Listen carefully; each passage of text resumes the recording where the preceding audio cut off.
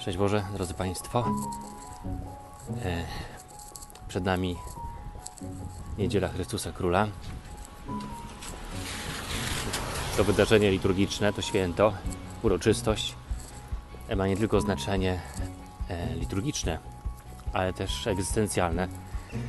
Dlatego, że popatrzcie, ta uroczystość, ta niedziela dzieje się na końcu roku liturgicznego.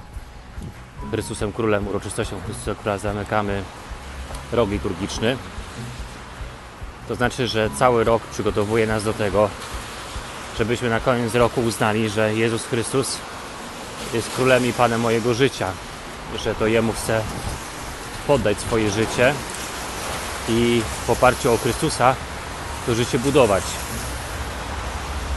Dlatego jest to wielkie święto, wielka uroczystość radości, wdzięczności za dobrze przeżyty rok.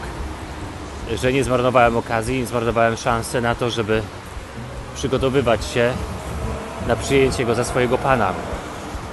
A jeżeli ktoś z Was w jakiś sposób zaniedbał tą szansę, no to nic straconego, bo kolejny rok przed nami i kolejna okazja do tego, żeby przygotować się do przyjęcia Pana i Zbawiciela.